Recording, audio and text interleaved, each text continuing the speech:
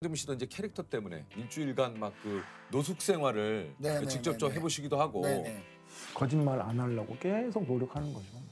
로드무비 찍을 때는 서울역에서 일주일 동안 노숙 생활도 했어요. 이리 쫓겨나고 저리 쫓겨 저기 저기 있으면 와가지고 막 발로 차고 그래요. 저기 밀려나 자고 밥도 같이 타다 얻어먹고 그랬었어요. 저의 청춘 20대 30대를 돌아보면은 그때가 IMF 이후였고 그때 집이 IMF 전에는 되게 환경도 좋았고 잘 살았었어요. 음. 살았는데 이후에 각자 다 힘들어서 이렇게 좀 그랬을 텐데 도와줄 수 있는 게 없고 그러니까 그때 그때의 절실함이 어, 형도 그렇고 저도 그렇고 지금 우리 일을 열심히 할 수 있지 않을까 이런 생각이 좀 드는 것 같아요. 예, 예.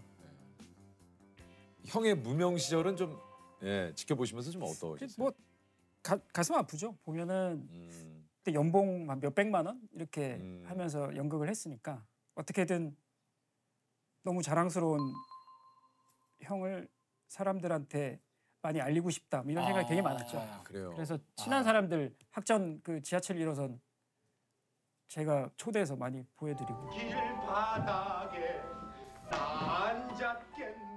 그러니까 그저 얘기 들으니까 우리 황 감독님이 그 영화 감독님이나 네. 이렇게 그 영화 쪽 관련되신 분들을 그 연극하시는 그 황정민 씨 연극하시는 그쪽에 많이 데려가셨다 그래요, 그죠? 형 연극하는 거를 많이 보여주고 싶었죠. 그 제가 또 그 저 때문에 그게 뭐 도움된 거는 하나도 없고요. 오디션 많이 보러 다니고 뭐그 고생하면서 그러면 그랬던 거저 우리 어, 황정민 씨가 했던 지하철 1호선을 그럼 감독님 몇 번 정도 보셨어요? 저 한 열대 번 봤던 것 같은데. 예, 예. 황 배우도 그렇고 저도 그렇고 잘할 수 있는 게 이것밖에 없어요. 둘 다 매우 절실하고 매우 소중하고 바랬고 이랬던 것 같아요. 그러니까 저는 제 직업은 꾸준히 하면은 언젠가는 음악 감독이 되든 아니면 작곡가가 되든 할 수 있을 거라고 생각했는데 배우는 좀 그게 운명적으로 기회도 와야 되고 그런 게 있어야 되는데 더 어려웠겠죠. 어려웠는데 자기 처음 책 받은 거 그때 와이키키였던 것 같은데 예, 빼곡하게 이렇게 메모돼 있는 거 보여주고 그랬죠. 인생은 고통이야 몰랐어?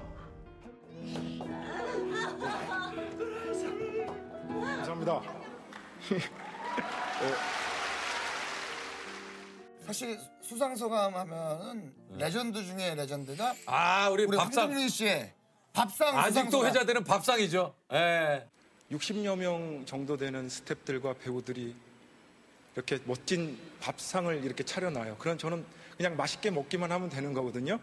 근데 스포츠는 저한테 다 받아요. 그게 너무 죄송스러워요. Friday.